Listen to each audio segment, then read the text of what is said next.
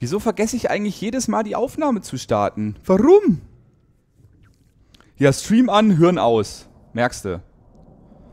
Ähm, ja, also wie gesagt, äh, ich liebäugele mit ähm, ähm, Sid Meier's äh, Starships. Ich habe es noch nicht gespielt, ich habe es noch nicht mal gekauft. Ähm, ich werde es mir mal angucken.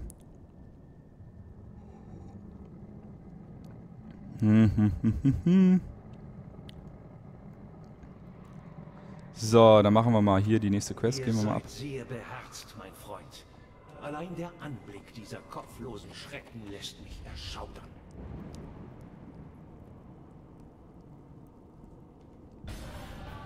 Quelle des Verderbens. Das als Twisted Fate bekannte Gebiet scheint der Ursprung für die Verderbtheit des Abgrunds zu sein.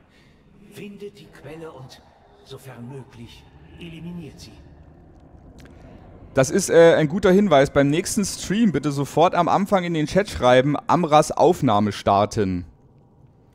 Damit ich das auch ja mache. Weil ich äh, krieg's nicht auf die Kette. Die Leute, die den Stream nachträglich auf YouTube schauen, äh, die verpassen grundsätzlich die ersten 20 bis 30 Minuten.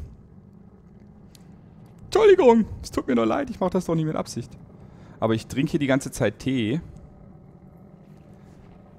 Starships sagt mir gar nichts. Hallo Mandelev. Ich grüße dich. Ähm, ja, ähm, das ist relativ aktuell rausgekommen. Ist jetzt auch nicht so ähm, angepriesen worden und war nicht so in der Marketingmaschinerie, sage ich mal, wie das andere Spiele ähm, durchaus sind und waren. Aber ähm, nichtsdestotrotz, es erinnert mich vom Spielaufbau an ähm, ein altes Star Trek-Spiel, was ich gespielt habe, wo mir gerade der Name nicht einfällt, weil es schon so lange her ist. Auf jeden Fall, ähm, naja, wir ähm, kolonisieren andere Welten, wir suchen, Kate Entschuldigung, ähm, katalogisieren quasi das Weltall, äh, treffen auf Gegner. Diese Kämpfe werden in Rundenstrategie ausgetragen. Es ist aber genauso auch ein, ähm, ja, ein Teil Wirtschaftssimulation dabei, sage ich mal. Also die Welten, die man kolonisiert, ähm, die muss man, da muss man sich auch drum kümmern. Und ich bin sehr, sehr gespannt. So, kein Mitleid, keine Gnade mache ich jetzt mal rein. Für ähm, den tödlichen Fluch. So. Kein Mitleid, keine Gnade. Kritische Treffer gewähren euch kurz Kampfvorteil gegen kritisch getroffene Ziele. Jap, jap, jap, jap. Wobei, macht das jetzt schon Sinn? Wir sind bei 32% Crit-Wahrscheinlichkeit. Jeder dritte Treffer ist ein Crit. Ähm, vorher hatte ich drinne den tödlichen Fluch. Ähm, euer Hexenmeisterfluch füg, Fluch fügt Zielen, die nicht bereits von eurem Hexenmeisterfluch betroffen sind, zusätzlichen Schaden zu. Das heißt, dass der Fluch einfach ein bisschen Damage macht. Das ist jetzt nicht so wichtig. Da können wir ruhig schon kein Mitleid, keine Gnade reinnehmen. Gut, wir sind schon Stufe 55, wir sind schon so gut wie Stufe 56. Jetzt werden wir allerdings eine Zeit lang nicht mehr aufleveln, weil wir jetzt in den letzten Dungeon des Abgrunds gehen und dann haben wir den Abgrund endlich hinter uns. Wobei das Gebiet, was danach kommt, es kommen noch drei Gebiete theoretisch und davon mag ich eigentlich nur eins. Also, ja, ich glaube hier nach kommt Mount Hotenow, Feuergebiet. Hm. Auch nicht so mega pralle. So, Twisted Fane betreten. Ich habe keine Ahnung, was das für ein Dungeon ist. Äh, ein Pokémon-Projekt vielleicht mal. Ist schwierig, äh, wenn, dann wird's, wenn dann würde ich gerne ein 3DS-Projekt machen, aber ich will es nicht oder ich werde es nicht emulieren und ich habe keinen aufnahmefähigen 3DS und den werde ich auch in absehbarer Zeit nicht bekommen, weil er erstens ausverkauft ist und weil er zweitens schweineteuer ist. So, äh, da, da, da, rundenbasierte Strategie, gelle? Ja, so ähnlich, genau. Star Citizen sagt mir natürlich was. Ich bin auch am überlegen, mal einen Stream zu machen. Ich habe mir die Demo von, äh, wieder Sid Meier's, von äh, Civilization Beyond Earth runtergeladen. Da ich vorher nie, nie ein Civilization gespielt habe, ähm, bin ich da auch nicht, also manche sagen, es ist nur ähm, ein Add-on zu Civilization 5, was zum Vollpreis verkauft wird. Ich würde es mir gerne mal, mal antun. Ist auch Rundenstrategie, ähm, ja, können wir vielleicht mal in einem Stream ins Auge fassen. Ich muss mal sehen, vielleicht schaffe ich es in nächster Zeit regelmäßiger zu streamen. Ich hoffe es. Also wir jetzt ist ja schon an zwei Tagen hintereinander streamen. Das gab es ja, glaube ich, noch nie. Hashtag Premiere. Ähm, was hat RT mit dem Vergessen zu tun? What? Spiel doch mal Super Meat Boy. Nein, ihr wollt mich nicht in einem Hardcore-Plattformer sehen. Wollt ihr nicht. Welcher der beiden Werte ist eigentlich die Crit-Wahrscheinlichkeit?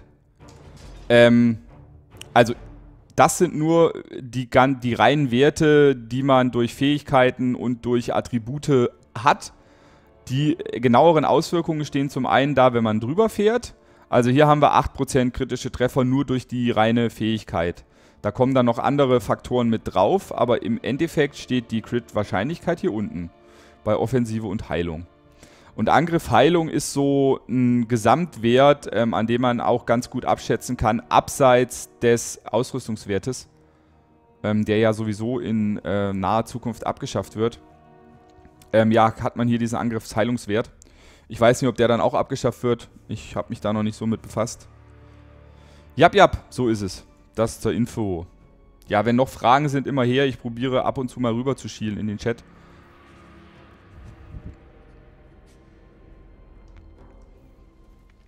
Und ich habe keinen Plan. Ist das Feuer freigeschaltet oder muss ich da erst hinlaufen?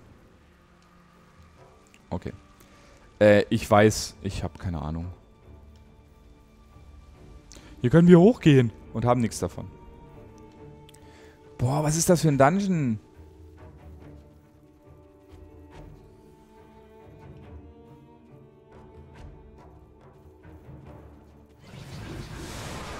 Rums, Schnauze halten.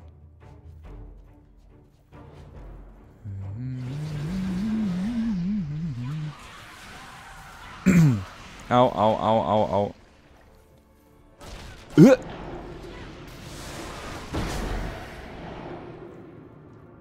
Da sind die in meinem Rücken gespawnt. Die Schweine. Oh, ich sehe. Äh, ist eine ich pack mal gleich den Krempel, den wir gar nicht erst anziehen können, weg. Wie gesagt, durch das Verkaufen von dem Zeug dann auch noch unidentifiziert. Ähm, ich habe eh schon 56 Gold, das ist mehr als genug. Ähm, ja, und damit ähm, verdienen wir uns jetzt auch nicht dumm und dämlich.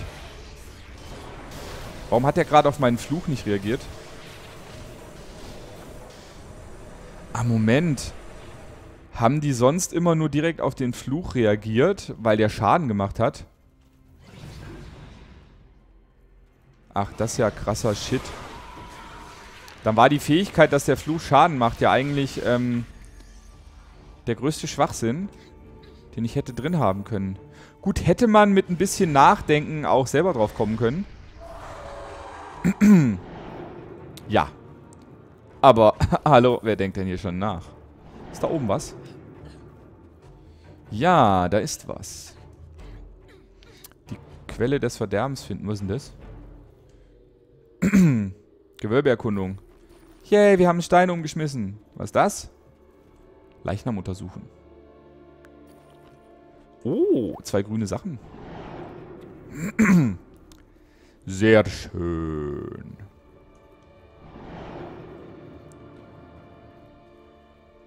Lalalala. Spielst du eigentlich Magic? Nein, spiele ich nicht. Ist das eigentlich normal? Verzeihung dass meine allererste freie Fähigkeit immer noch die ist, die am meisten Schaden macht. Nee. Ist nicht ungewöhnlich, ist bei vielen Klassen so, dass äh, tatsächlich die ersten Fähigkeiten, die man bekommt, auch relativ lange äh, die besten sind. Das ist nichts Ungewöhnliches. Du hattest doch bei früheren Projektwahlen, also die, bei denen Mass Effect rauskam, mal Pokémon Weiß vorgeschlagen. Ist das für dich keine Option mehr? Hm, ehrlich gesagt nicht. Ich finde, äh, die Dafür sind die neuen Generationen auf dem 3DS einfach zu gut. Ähm, klar wäre Pokémon Weiß sicherlich auch eine Möglichkeit.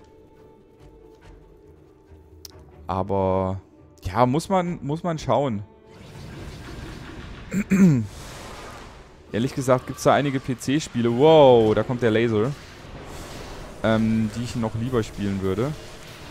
Und für Pokémon habt ihr ja Sui. Der weiß eh besser als ich, was er tut. Also, das klingt doof. Natürlich weiß er besser als ich, was er selbst tut, aber nein, ähm, er weiß es bei Pokémon halt auch besser. Ich kann verstehen, dass einige auch gern von mir ein Pokémon-Projekt sehen würden. Das steht aber, so ehrlich muss ich ja sein, steht auf der Agenda nicht ganz oben.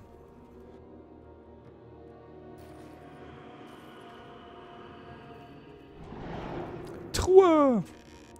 Ah, ich wollte euch ja mal zeigen, ähm, ja, XY und Oras rockt, genau. Ähm.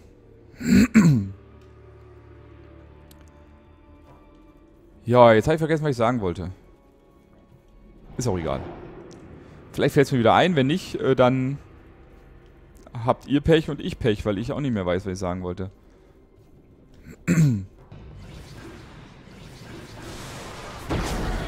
Bam! Das macht viel mehr... Naja, nicht viel mehr Spaß, aber es ist viel einfacher, wenn unser Fluch keinen Schaden macht. Um einiges einfacher. Dann können wir hier zum Beispiel schon wüst rumfluchen.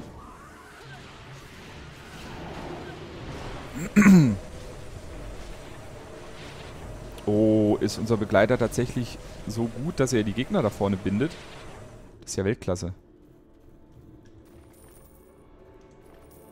So, und hier sehen wir schon so einen ollen Schlund rumliegen. Äh,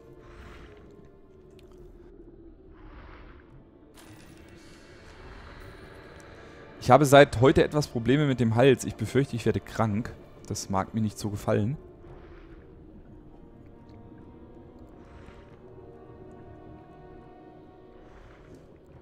Ah. Und jetzt schenke ich erstmal Tee nach. In diesen Instanzen, in den Dungeons, spawnen keine Gegner nach. An denselben Stellen, da kann man mal kurz ein Päuschen einlegen. Und ich glaube, wenn wir mit dem Dungeon fertig sind, dann muss auch mal eine Pipi-Pause her. Hashtag Pipi-Pause. Denn wenn ich hier die ganze Zeit Tee in mich reinschütte, Tee treibt mächtig. So, da hinten ist noch ein Paket. Ne, ist ein toter Abenteurer. Naja, im Endeffekt ist auch ein Paket. Es kommt was raus. So. Ich weiß immer noch nicht, was hier, wer hier der Endboss ist. Wie kann ich denn? Ich habe das eine Million Mal gespielt, gefühlt und weiß hier nicht, äh, wer mich als Boss erwartet. Eins, zwei, drei.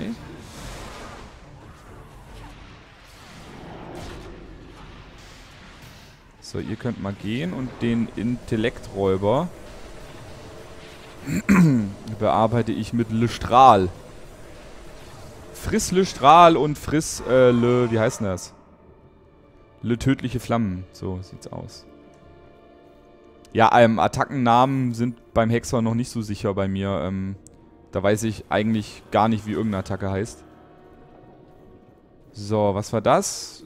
Die, die brauchen wir eigentlich nicht, die Grimoires.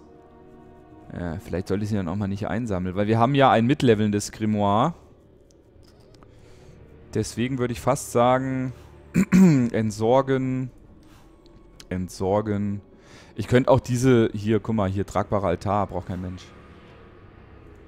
So. Ist wir schon beim Boss? Nee. Das wäre ein sehr kurzer Dungeon. Nee. Sind wir noch nicht. Die laufen so lustig. Ihr seid lustig. Ähm.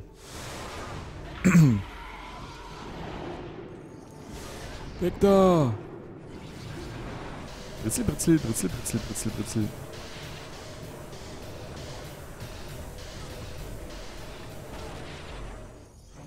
Ah, das ist ja eine schlechte Idee. So. Oh, alle tot. So, Identifikationsschriftrollen nehmen wir gerne mit, auch wenn wir die dann, sobald wir Stufe 60 sind, nicht mehr gebrauchen können. Da gibt es dann wieder neue zum Identifizieren. Gewölbekunde. Kaputt. Gewölbekunde. Tschüss, Nerdbeere. Viel Spaß beim Film gucken. Alter! Spiel. Please. Danke. Hoffentlich ist die ganze Krankheit, nee, nee, ist nicht übers Internet ansteckend.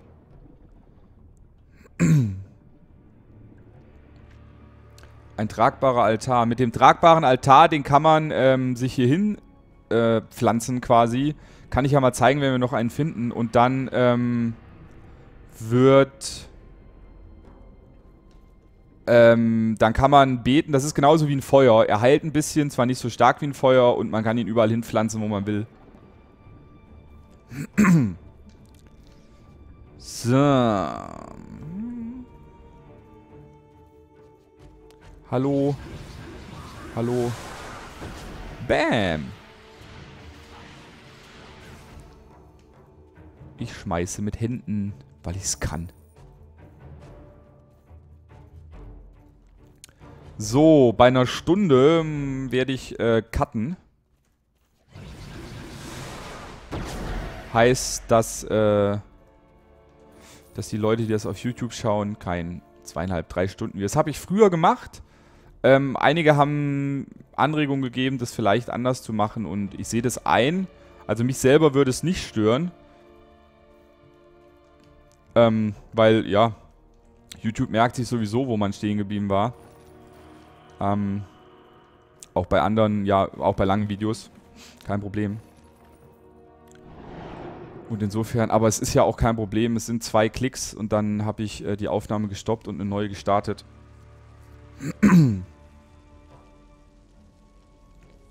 Nein, ich spiele Pokémon nicht competitive. Ich habe es irgendwann mal kurz angefangen und competitive auch gezüchtet.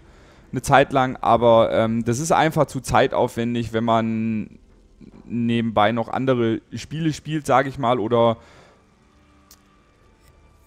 eine Gilde in einem MMO hat, das hat sich dann so ergeben und das macht mir auch ein bisschen mehr Spaß als Pokémon züchten, um ehrlich zu sein. Ähm, ich mag Pokémon, die Spielserie, wunderbar toll. Ich mag sie wunderbar toll. Ich mag sie gerne. Ich spiele sie gerne. Ähm, hab auch ein... Bäh, kommt einer angerannt. Hab auch ein bisschen Ahnung vom Züchten, aber wirklich nur, ähm, ja, das äh, beschränkt sich in der Tat auf das Nötigste.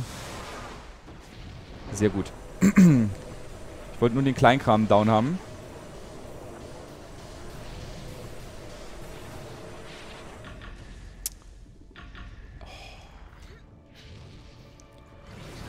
Ultra nervig.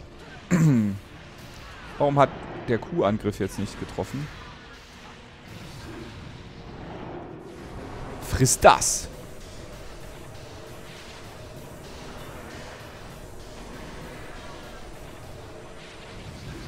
Ja, pack dir wieder in den Hals und hol irgendwelchen Schleim raus. Sterben wäre eine gute Maßnahme. Das tust du auch genau jetzt. So, und ihr seht, äh, die sind eigentlich, wenn sie alleine sind, überhaupt keine Gefahr. Man kann den Angriffen sehr leicht ausweichen, weil, sie, ähm, weil er sie sehr lange castet. Das ist alles überhaupt kein Problem. Gibt es hier hinten irgendwo ein Paket? Oh, das ist doch wie, wie geschaffen für ein Paket. Ist aber kein Star.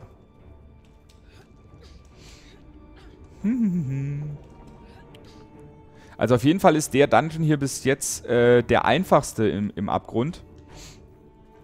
Äh, zumindest haben wir hier bis jetzt am wenigsten Probleme mit Abstand. Vielleicht sind wir auch einfach ein bisschen stärker, also wir sind definitiv ein bisschen stärker geworden. Aber vielleicht hat das auch recht großen Einfluss.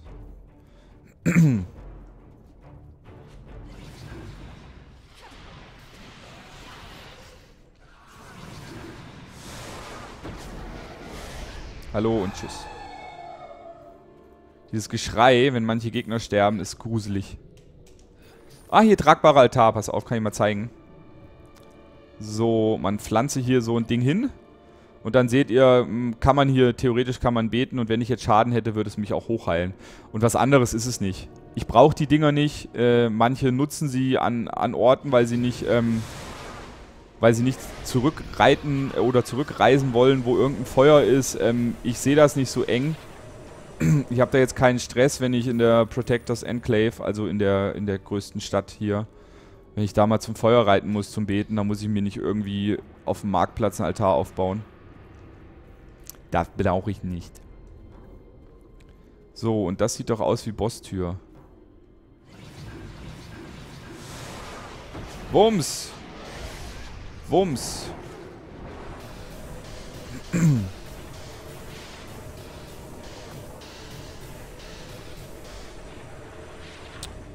So. Mächtiger Heiltrank. Ein blauer Ring, sehr schön. Schriftrolle. Tränke nehme ich alle mit. Grüne Gürtel gucken wir uns auch mal an. Und den grünen Gürtel gucken wir uns auch an. Was sagt das Inventar? Drei freie Plätze noch. Ja, pass mal auf. Hier. Sechs Silber. Geh weg mit dem Scheiß. 57 Kupfer. Noch weniger. Oh, das ist ein bisschen was wert. Das können wir mal lassen. 97 Kupfer. Weg mit dem Crap. ja, auch weg. Auch weg. Oh, hier ist noch so ein Grimoire. Das brauchen wir auch nicht. Guten Hunger, Uzisch, falls du noch da bist. Ja, ist ja erst zwei Minuten her. Was war eigentlich mein erstes Artefakt? Äh, ziemlich sicher, dass, ähm, also auf, ähm, auf dem ersten Charakter, wo ich eins hatte, wahrscheinlich die Laterne der Offenbarung, die man sich halt damals als die, La ähm, als die Laternen, als die Artefakte eingeführt worden, direkt holen konnte. Die Quest gibt es heute noch, wo man sich die holen kann. Und ich glaube, da habe ich mir als erstes tatsächlich die Laterne der Offenbarung geholt. Ach, jetzt weiß ich es wieder. Der Boss ist ich glaube nicht wirklich schwer, aber ein bisschen nervig.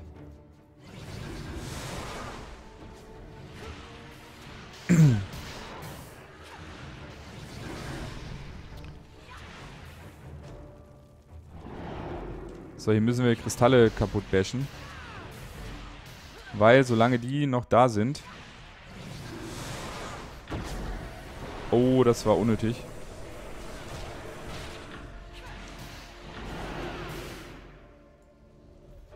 Muss ich die wirklich... Na. Ja, ich muss sie wirklich kaputt machen. Das wollte ich jetzt hier nur nochmal sicher äh, klarstellen.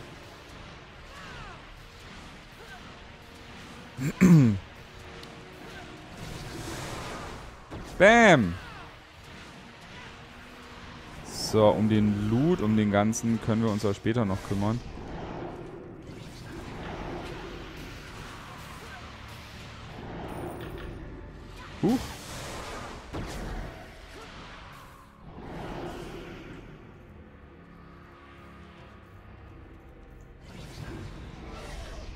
Verfluchter Kristall, stirb! Manchmal sieht man die Lebensleiste von den Dingern einfach nicht. Au, wow, ihr haltet aber viel aus, Freunde. Fällt mir aber auch nicht so.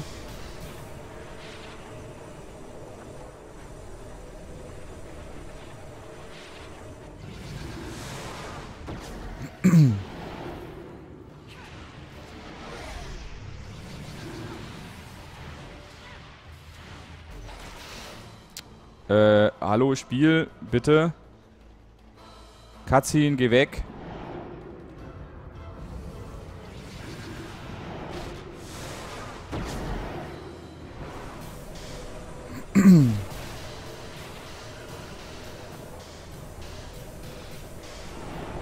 Ah, Spiel!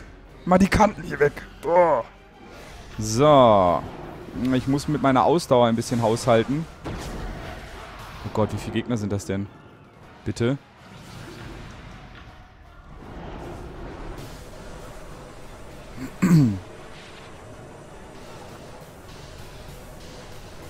Ihr seht, man hat hier so mega viel mit den Ads zu tun.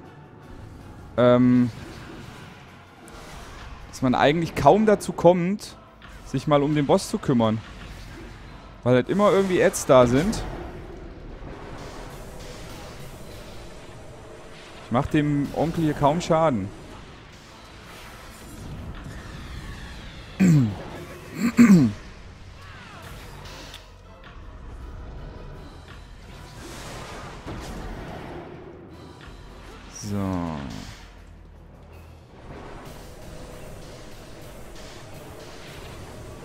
jetzt habe ich endlich mal kurz Schaden Single auf den Boss gedrückt oder drücken können. Das war sehr schön.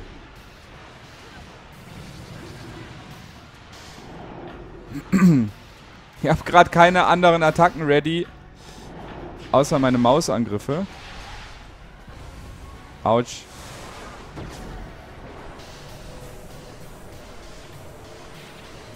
Aber wir verlieren erschreckend wenig Leben. Also entweder weiche ich wirklich so gut aus. Oder die übliche Vermutung, dass unser Lebensentzug so hoch ist. Aber gut, das hat super funktioniert. Und wir bekommen einen Nothic-Helm, den wir nicht brauchen. Deswegen lasse ich ihn auch einfach liegen.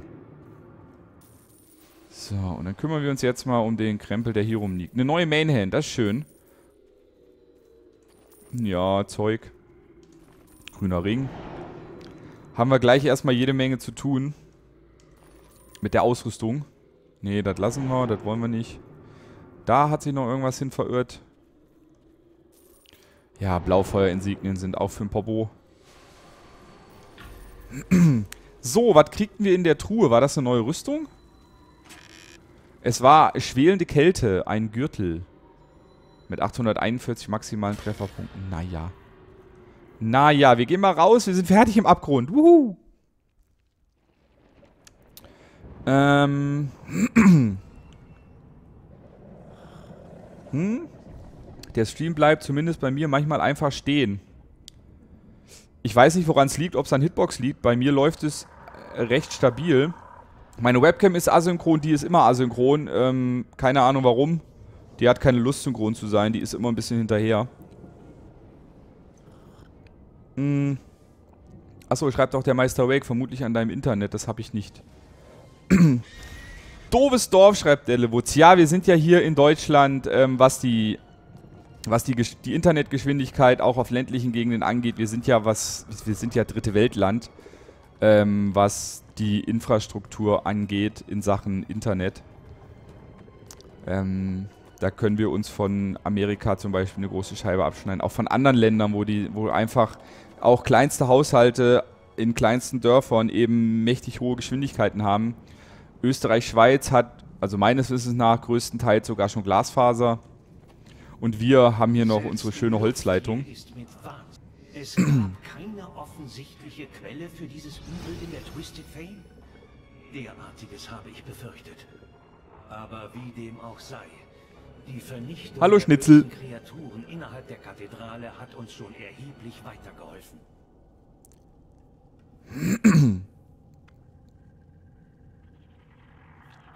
So, 7500 Erfahrung und zwei neue Quests. Das ist jetzt nur noch abgeben. Durch eure Untersuchung der Fane haben sich zwei Tatsachen. Das lehne ich mal ab. Das ist die Gruppenquest, also das äh, Gewölbe im Gebiet, die Zauberpesthöhlen. Das wollen wir nicht laufen. Ähm, aber den Abschlussbericht oder Abgrundbericht. Abgrund und die Pommes. Habt ihr die Mitglieder der Narbenkompanie inspiriert und ihnen Hoffnung gegeben, den Kampf fortzuführen. Nun solltet ihr jedoch zu Webel Nox zurückkehren. Es interessiert ihn sicherlich sehr, was wir hier entdeckt haben. Ja, an alle, die das vielleicht auf YouTube gucken und sich wundern, warum ich das gerade geschrien habe, das äh, war ein kleiner Insider äh, im Chat. Nein, ich bin nicht gänzlich bekloppt. Nur ein bisschen. So, reite ich zurück? Nö, wir nutzen, äh, wir, ich habe noch zwei Portal, äh, Teleportrollen zur Protectors Enclave. Und eine von denen nutze ich jetzt. Tschüss, Abgrund.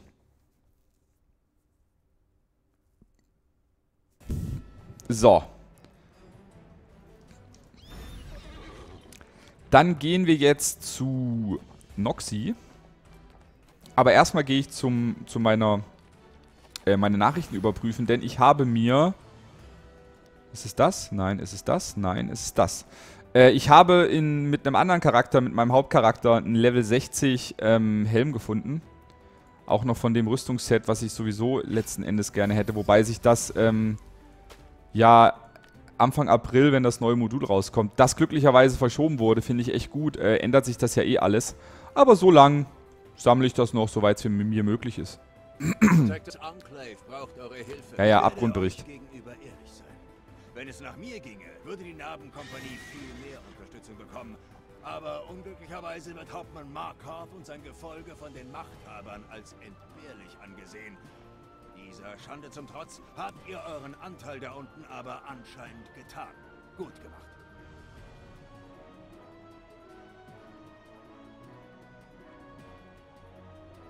Entschuldigung. So, Feuer im Berg. Ein Feuer im Berg. Wir haben Berichte von einer Zwergen. Ganz kurz was schauen. Ihr habt euch für Neverwinter Ich glaube, wir müssen erst nach Rothy Valley. gestellt. Dieses Mal könnte es wirklich gefährlich werden. Eine Gruppe Waldläufer hat berichtet, dass in das Bauerndorf von Rothy Valley eine gewaltige Sklavenexpedition der Drow eingerückt ist. Ihr Einmarsch in die obere Welt könnte die gesamte Schwertküste ins Chaos stürzen. Die Waldläufer werden von einem Elfen namens Dassa Truebow angeführt, den ihr in Helms Hold bereits einmal gesehen habt. Er wird euch mehr über die Situation dort erzählen können. Ja, den haben wir in der Tat schon gesehen. Jetzt gucke ich mal ganz kurz. Rothay Valley ist Stufe 52. Kommt es noch vorm Abgrund? Offensichtlich habe ich Rothay Valley vollkommen übersprungen. Äh, auch wenn es da weniger Erfahrung gibt, weil es niedrigleveliger ist, äh, machen wir das jetzt trotzdem. Der Vollständigkeit halber. Dann gibt es mal ein Tote nur später. So, yay! Meine Sammlung ist etwas reicher geworden. Dann würde ich sagen, reisen wir direkt nach Rothy Valley, nehmen da die Quests an und kümmern uns um unser Inventar und um unsere neue Ausrüstung dort. ähm, mit dir will ich noch nicht sprechen.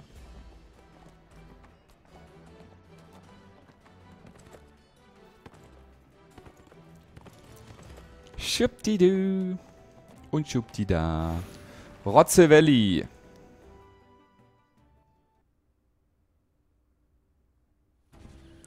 Na, da sind ja wieder die beiden Richtigen im Chat beisammen. Drow greifen am helllichten Tage ein. Ich hätte nie gedacht, so etwas einmal zu sehen. Corellon sei gepriesen. Wenn Neverwinter euch zu Hilfe geschickt hat, dann wird dort der Ernst der Lage wahrhaftig nicht unterschätzt. Beim ersten Angriff der Drow dachte ich, dass es sich nur um eine Sklavenexpedition handeln würde. Aber ich habe die Lage wohl weit unterschätzt. Drow greifen mit aller Macht an und was auch immer ihre Absicht ist, so steht es nicht gut um Neverwinter.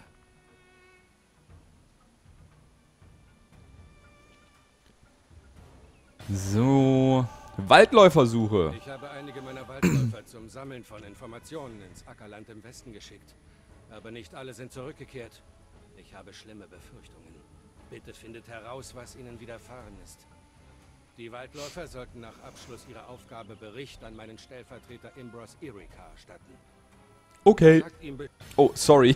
Huch, Zu früh weggeklickt. Plünderer von Rotzer Valley. Sklavenhalter der Drow führen Überfälle in ganz Rothy Valley durch, aber ich habe nicht genug Waldläufer für einen Angriff.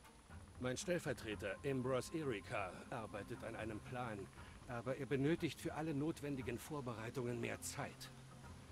Ihr könntet uns die nötige Zeit verschaffen, indem ihr einige Sklavenhalter der Drow im Ackerland westlich von hier erledigt. Sucht hinterher Imbros Erika im Südwesten des Ackerlands auf und helft ihm, wo ihr könnt. Okay. Ja, die VOG WM ist heute. Und äh, huch, der Amras nicht mehr bei Twitch. Habe ich was verpasst? Ja, du hast verpasst, dass ich jetzt auf Hitbox streame. Ähm, mir gefällt Hitbox einfach besser, weil die Verzögerung geringer ist. Ähm, und ich mag das einfach lieber. Und auch sonst hat Hitbox einige Komfortfunktionen mehr. Und ja, deswegen bin ich auf Hitbox oder zu Hitbox oder wie auch immer man es nennen will, gewechselt. So, wir haben hier zwei Quests, wollen uns aber erstmal um unser Inventar kümmern. Wir haben nur zwölf Rollen. Eins, zwei, drei, vier, fünf, sechs, sieben, acht. Ja, das reicht.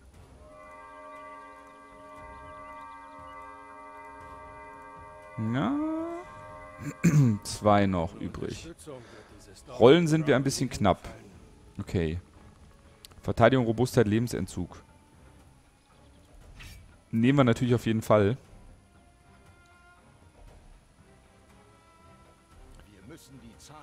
So. Ähm, Haupthand. Ist auch besser. Zwar kein Lebensentzug mehr, aber in den sauren Apfel beißen wir einfach mal. Dafür kriegen wir jetzt Lebensentzug auf der Rüstung. Und Lebensentzug auf dem Gürtel, es sei denn, da kommt noch ein anderer. Hier ist noch eine Rüstung. Ist die gleiche. Okay. Ring mit Kraft- und Rüstungsdurchdringung. Okay. Und beim zweiten Ring müssen wir mal schauen, haben wir einmal Verteidigung und einmal Verteidigung. Dann würde ich doch fast sagen, wir nehmen nicht Verteidigung, denn der blaue ist besser, den wir haben.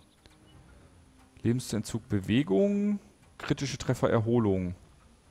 Lass ich mal Crit und Erholung. Was haben wir? Lebensentzug? 1-3. Hallo, lässig. Da brauchen wir gar nichts mehr, ey, Alter. 216 Erholung, 216 Lebensentzug. Okay, dann können wir den Rest verscherbeln. Habe ich irgendwas übersehen, vergessen? Dich packe ich mal hier unten. Hier sind so ein paar 60er-Gegenstände, die ich schon gefunden und rübergeschickt habe. Nö, Rest verkaufen wir. Fein. weg, weg, weg, weg, weg, weg. Die Verzauberung natürlich nicht. Ist ja klar. Die nutzen wir gleich noch. um das zweite Artefakt schon mal äh, zu ja, versuchen aufzuwerten. Weil wenn wir Stufe 60 sind, können wir ja ähm, drei Artefakte tragen insgesamt. Und da habe ich einfach schon mal eins vorbereitet noch. Äh, zwei. Äh, äh. Das ist aber, hat aber noch einen weiten Weg vor sich bis äh, zur Blau. Also aufwerten bei Rang 29 und den müssen wir auch erst auffüllen. Also eigentlich erst bei Rang 30. Oder es wird dann Rang 30 und Blau. So. Ja, können wir mal veredeln. Dann könnten wir auch nochmal, ist die Stunde schon rum, beten. Feuer, Feuer, Feuer. Und nachdem ich gebetet habe... Na, jetzt aber. So, veredeln wir noch schnell die Astraldiamanten. Und dann kurz Aufnahme stoppen.